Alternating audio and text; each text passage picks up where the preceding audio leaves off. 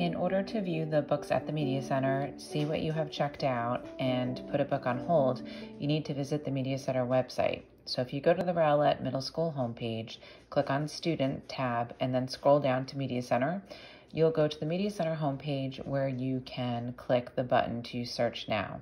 This brings you up to the Destiny Discover page where you will enter our um, state, Florida, and type in the school, Rowlett Middle Academy, and, and actually you are logging in with your student ID as your username, and the password for all students is RMA in capital letters. Once you're in, you'll be on the Destiny Discover landing page and you'll see any announcements that I might have posted there.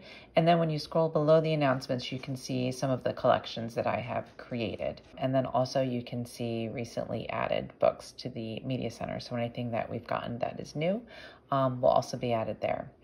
When you um, go to the collections or to the genre section, um, and then click on it for topics or like I said, the collections I've created, you'll see um, a selection of books there along with a short overview of the book, which is helpful. And just below the overview, there are different tabs and you can see you can click on the word explore and that's going to show you the subjects that are related to that book. So if, say, for example, you're reading a book description, it sounds interesting and it happens to be a survival book, you'll see when you go to um, that tab that you'll probably see survival as one of the options or topics. And when you click on that, then it's then going to take you to another list of books that might be interesting to you. You can put a book on hold and then I will hold that book for you and have it delivered to you in class.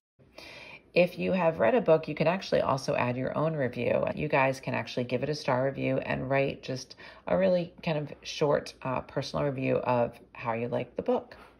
So all of this again is available when you go to the Media Center's website and then click to search. It will bring you to the Destiny Discover homepage and that's where you can look for books um, and put books on hold and also write reviews for books. And I hope you guys use this, especially when the Media Center is closed or when you can't get there due to your schedule.